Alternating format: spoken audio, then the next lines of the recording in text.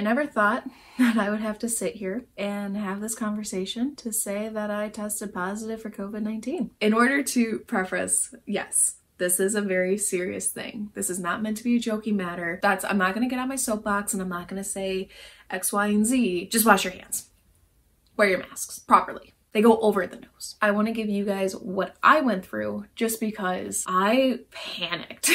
and if I can be of anything as a resource or just a voice to calm you off the ledge, like let me be that for you because I wish I had somebody to talk me through their experiences. The timeline's going to be a little wonky and I'm gonna try to explain it as best as I can while also still trying to piece it together for myself. Today is November 25th so a day before Thanksgiving.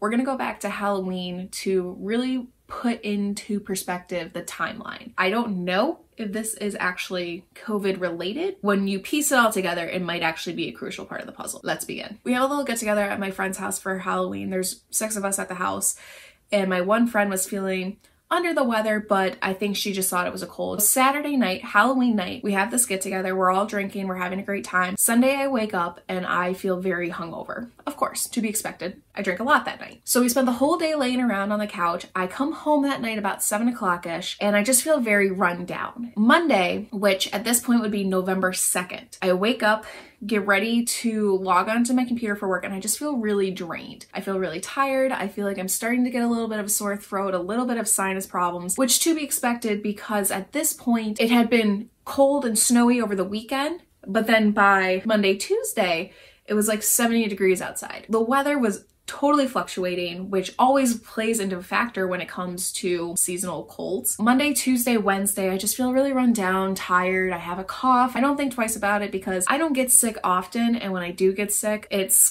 kind of one where I'm down and out. I don't think twice about it. I, you know, go about my merry way. Thursday, I was feeling fine. I would say like on a scale of 1 to 10, 10 being perfect health, I was probably at a 7. In the course of the week, I had been talking to this guy and he's asked me on a date Saturday night. So Saturday night we go out to dinner. We end up hanging out. Everything was fine and dandy. Sunday went out, did my thing. Monday Tuesday, everything's good. Wednesday, I go down to my friend's house to house sit and watch her dog. And again, same thing, feeling totally fine. I still have the remnants of a cold, but it's not anything that would knock me out. So Wednesday, Thursday, Friday, my friend comes back home. I'm totally fine. Everything's good. Saturday, I am at my house doing laundry and I had to run out because we were doing a Friendsgiving at my friend's house. Before I ran to the store, I stopped at McDonald's because all I wanted was a bacon, egg, and cheese McGriddle McGriddle and a cup of coffee. Before I go to the grocery store, I'm in the car eating the McGriddle and I recall sitting there eating it and I took a sip of the coffee and I thought the coffee tasted weird. For the record, I usually drink my coffees from McDonald's with five cream, three sugars, and it was a medium. So you would be able to taste a sweetness, but it didn't, it didn't taste right. I remember audibly saying by myself in the car, this doesn't taste normal. That should have been the first indicator. But I also think I was just so hungry that I inhaled it and I don't recall tasting it. I go to the store with my mask, get all that I need to get for Friendsgiving, and my grandmother was making dinner and she was making garlic potatoes. I happened to go into the living room and there was a bowl of mini M&Ms on the table. I go to grab a handful of them, put them in my mouth, and I didn't remember eating them. Like, I don't remember tasting them at this point. I'm sitting on the couch. My dad's in the living room with me as well. And he goes, Oh my God, those garlic potatoes smell so good. At this point, I realized I can't smell anything. When he was like, Oh, those smell so good, and I couldn't smell them, I said it out loud I was like, Oh, that's weird, I can't smell it. My dad looked at me and he was like, Uh oh, uh-oh. But again, I did not think twice about it. Now with candied yams, obviously there's sugar and syrup and honey and cinnamon, things that have notable smells. And as I'm making it, I realize I can't smell anything. At that point, I was like, I'm gonna go to the bathroom. So I run into my bathroom and I'm trying not to panic because I don't want to freak myself out. But mind you, I had to leave to go to Friendsgiving in about 20 minutes. I think to myself, okay, like look in my closet and see if there's anything that I can smell. Obviously, I stockpile candles, so I was like, well, let me grab a candle that I know the smell of. And I had one from Bath and Body Works, and it was pink gumdrop, I think. It has a very strong smell. You like take the lid off the candle and it hits you. It's just that potent. Grab the candle, I open it up, and I have my nose shoved into the candle and I can't smell a thing. So I come out and I'm like, I can't smell anything. Like I'm freaking out. And my dad immediately said, everybody on lockdown. Backtrack. Because I realized that I gave you the wrong dates and now the timeline is completely fudged up. The day I first started showing symptoms was November 14th. 14th. It was not the 15th. 2020. I don't know what day it is. When I took my temperature, it was 100. Now I'm freaking out. I'm stressed out. I'm worried I'm thinking that's what it is. I'm not thinking that it's a fever because I felt scale of 1 to 10, I felt like a 9. I take some Tylenol just because maybe I am spiking a fever and I just don't realize it. My parents bring me dinner. I can't taste any of it. My dad was like, well, we're gonna make you a concoction and you're gonna tell me if you can taste it. So I'm like, all right. He comes to my door, knocks on my door, and he has a mug in his hand and he's got his face covered. And he goes, just try it. I'm like, well, what is it? And he goes, just try it. Come to find out, he had made me a cup of tea with lemon and garlic in it. I took three sips of it and I couldn't taste anything. I had a bottle of Diet Dr. Pepper that I had brought with me from when I went grocery shopping earlier in the day. I couldn't taste it. I could feel the bubbles and the carbonation, but I could not taste anything. Saturday night, I stay home. I obviously don't go to Friendsgiving because in my head at this point, we don't know if it actually is COVID or not. But I'm not taking any chances. So I tell my friends, I'm really sorry, I can't, you know, yada yada. So instead, we FaceTime that night. Sunday comes around, I still can't taste anything. I still can't smell anything. And at no point did I ever spike a fever. My temperature was high on Sunday, but it wasn't anything higher than like a 99. Monday, still the same. Tuesday, still the same. Wednesday, or was it Tuesday? Huh, what day was it?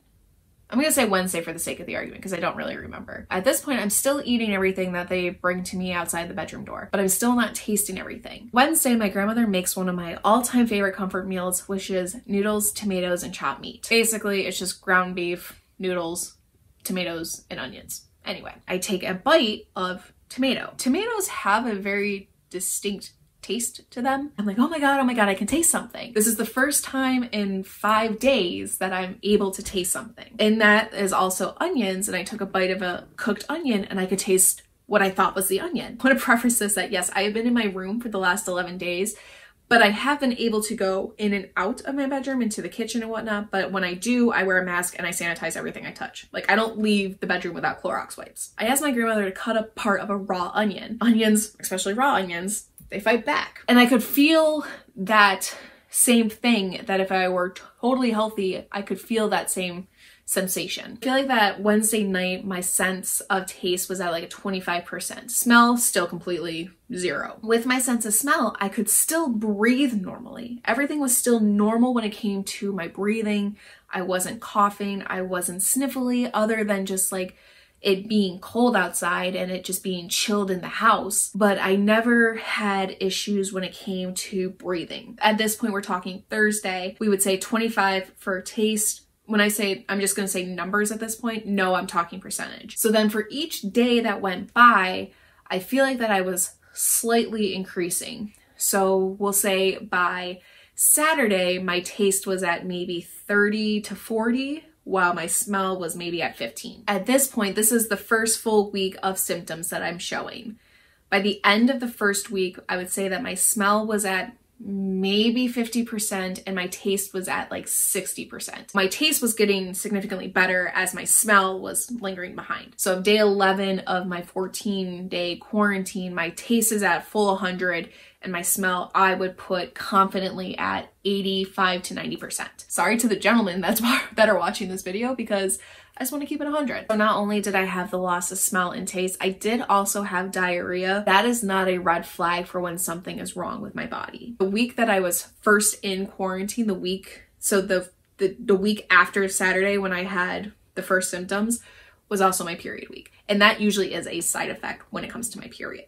So in that sense, I don't want to say that diarrhea was a symptom of COVID. It very well could have been. It wasn't the red flag that made me said, oh crap, I need to get tested. No pun intended. The second part I want to discuss is the testing method. Saturday night, it, by the time that I realized what the heck was going on, it was too late for me to go and get a test anywhere. In the town that I work in, they have a New York State like testing center. You need an appointment to go to it. I don't think you can really just show up. You can, but like they don't encourage you just to show up. I knew that I wanted to go and get tested there because with my job, it was completely free. We were encouraged to go to this specific site. With it being Sunday, they're closed. So I wanted to go to a rapid testing site, but my boss totally discouraged me from doing that just because we have been told that they are not that reliable. I couldn't go to any testing site on Sunday because they were all booked up. So I had scheduled an online assessment with New York State. They called me Sunday. Monday, I was able to go and get tested. November 16th was I was able to go and get tested at the state run facility. The 16th, 17th, 18th, 19th, 20th, 21st, the 22nd was when I got my test results back, where they came back positive. In New York State and specifically in my county, the quarantine rules don't make any sense to me because I have heard so many varying discussions when it comes to what is the quarantine rule. This is why I want to be completely transparent because I still don't know what the rule is. I've heard that quarantine is supposed to start the day that you show symptoms and two weeks after you show your first sign of symptoms. I've heard that quarantine starts from when you get your test. I've heard that quarantine starts when you get your test results. And I've heard that the quarantine doesn't legitimately start until you hear from the county. Because my county is testing so many people, they are extremely backlogged when it comes to their quarantine, you know, who they're calling, who they're not calling. And as I understand that the case numbers are going up because we're testing more people, we're still I still had to wait 6 days from when I first started showing symptoms in order just to even get results back. So by that logic, I should be finished with my 2-week quarantine, the recommended amount from the CDC by this Saturday, which would be the 28th. Today is Wednesday, the 25th. Physically, I have felt totally fine through the whole thing. Mentally, which I think is honestly the scariest part of COVID. This is something that I'm going to be very open and transparent about. Mentally, this completely rocked my world. 2020 mentally to me has been one of the most challenging years, which you can tell in all of my recent videos. Mentally, we're not doing great. We're, we're not doing great up here. And sprinkle in some COVID and trying to rack your brain to figure out where the heck you got this thing, to think about who you've given it to, to think about your grandmother who lives with you, who's autoimmune compromised, to think about who I could have possibly given it to because the person that I was seeing and I went on a date with, he's in the army and he was going up to base to do training. Did I give it to him? Did he give it to me? Where did I get it from? Did I get it from my friend who's a first responder? Is she going to get it from me? Is she going to give it to the community? Your mind starts to wonder so much and you spiral so quickly. That Saturday night, if I wasn't talking to my friends on FaceTime while they were at Friendsgiving, I don't know what would have happened. I'm somebody who is very close to my family. We eat dinner together every single night and to not be able to do that was absolutely heartbreaking. Now, I don't want to say I didn't have anybody to talk to because I did. My friends, they they were rocks for me because my one friend would call me almost every night just to check in, just to make sure I was okay, that I wasn't spiraling. my one friend, you know, she would Snapchat me every night and we would just talk about our days, literally just talk. It has, it's helped and it's made me realize who's true and who's not, which has been an, another issue of 2020 of just learning who's in your tribe and who's not in your tribe and who's important, who's not important, where I'm very thankful for the people. So to those, Thank you. I'm very proud of how we took the action to shut everything down, lock me in my bedroom, and very fortunate that my room allowed me the space to be able to live in it and have my own bathroom. And I'm very fortunate in that sense. Again, my symptoms were not nearly as bad as others. This is where it's that finicky line of, okay, I lived it, I experienced it, I had symptoms, I had all these things I still don't know how I feel about it. I'm somebody from day one, not to label myself as a conspiratist, but didn't buy into a lot of the hype. I we're not part of the, you know, the chaos that you saw in New York City like March, April or May or, you know, when thousands and thousands of people were dying daily and you know, I am very fortunate that small scale central New York, we were not affected by it. We were not impacted by it as much where almost every person you knew had it. It was this whole big elusive thing where you would hear these numbers, which are just completely otherworldly. You'd hear these numbers and you're like, how can that many people have it? You think of your own personal life. Now, I know a lot of people. like, I don't know how many people I know, but I know a lot of people. The life that I live outside of the internet, I knew no one who had it or whoever I did know that had it their symptoms were so small scale that you weren't hearing these catastrophic numbers or stories. After this quarantine is done, am I going to change how I look at the world today? I don't think I will. Am I scared of the virus? No. I had it. I still have it. I am totally fine and healthy. Do we know what the long term effects of it are? No. And I'm sure, you know, when I'm 60 or 70, if I make it that long, like maybe complications will come out of it from then. But in current day, 27 year old Sarah on November 25th, I am not scared of the virus. When I opened that result and I saw that it was positive, I was like, all right, glad I could be a part of something so grand. My mentality towards this thing is again, I'm not taking it as a joke because it shouldn't be joked about, but that's how I handle adversity in my life. And it didn't change anything how I felt, feel, or looked at the, the pandemic or the virus prior to me getting it. That I think is the most complex part about it because you sit here and you hear these stories, but then I'm like, okay, yeah, I had it, I lived it, it still does not change a thing. I think the most frustrating part is again the mental toll it takes on you and just the waiting around. like the guilt that you feel. The guilt is the worst part because when you tell somebody that you have COVID, they're like, How'd you get it? Like where'd you get it from? And like it's a it's a finger pointing game. And for me that's it's stupid. Uh, yeah, I could sit here and I can blame the guy I went on a date with. I could blame my best friend who's a first responder.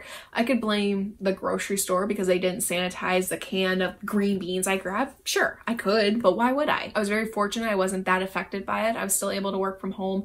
I was still able to do what I needed to do. Mentally has been rocky, but you know, I'm very fortunate to have the support group and the friend group that I do who talk me off the ledge. It's serious, but do I think it's as serious and politicized as it needs to be? I'm just gonna leave it at that.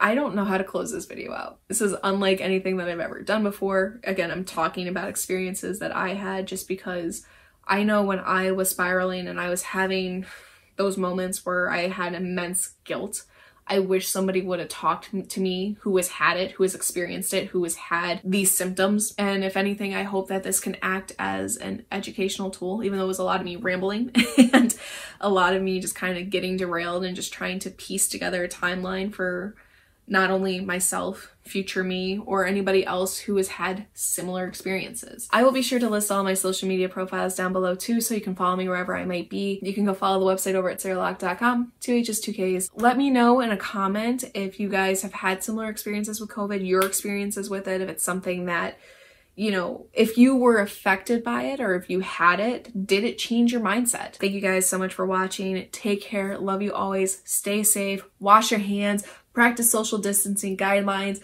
and wear your mask properly. It goes over the mask. It's supposed to cover this area. It's supposed to cover this. It's not supposed to be here. It's not supposed to be here. It's this. Thank you. I'm going to go ahead and go. So thank you guys so much for watching. Take care. Love you. Always stay safe. And until next time, we'll see you guys later. Bye. If I can't taste Thanksgiving, I'm gonna, I'm just gonna off myself right now.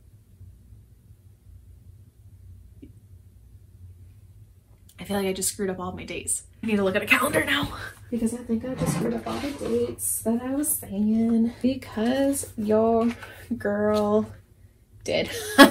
Whoops. When I am out in public, I am smart. I wear my mask. I don't sanitize as often as I probably should. I have a very good immune system as it is. I know I need to be better about it. Y'all don't need to come for me in the comments, but I know I need to be better. I was sick the week before. So was that actually COVID or was it just a seasonal cold? I said cold really weird. Grandmother to cut me up part of a raw onion. Onion. Oh, onions. The Thursday. yeah. That happened.